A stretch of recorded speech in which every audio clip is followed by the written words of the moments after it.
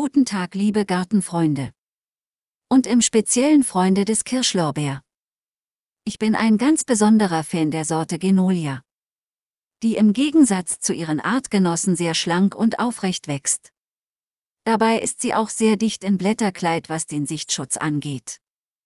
Kirschlorbeer Genolia in der Größe 120 bis 140 cm nach Anlieferung und kurz vor dem endgültigen Anpflanzen auf unserem Grundstück. Das Bild zeigt mittelgroße Pflanzen, die uns von einem ausgewiesenen Baumschulbetrieb per Spedition innerhalb von zwei Tagen zugeschickt wurden. 30 Pflanzen als hochwertige Ballenware auf Palette. Dies reicht für eine 10 bis 12 Meter lange Kirschlorbeerhecke. Sie sollten beim Sortentyp Genolia immer bedenken, dass diese Pflanze ein beachtliches Längenwachstum in der Höhe aufweist.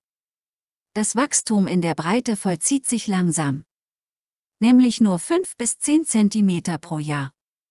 Sie sollten dies beim Setzen der Pflanzen beachten. Das heißt, lieber drei Pflanzen Genolia als zwei pro Meter wobei ich davon ausgehe, dass in der Regel 80 bis 120 cm große Pflanzen in die Erde eingebracht werden. Kirschlorbeer Genolia ist eine relativ neue, innovative Züchtung aus der Schweiz. Sie ist gesetzlich geschützt, unter anderem bedeutet dies für Sie als Käufer, dass diese Pflanzen von Ihnen nicht vermehrt und dann verkauft werden dürfen.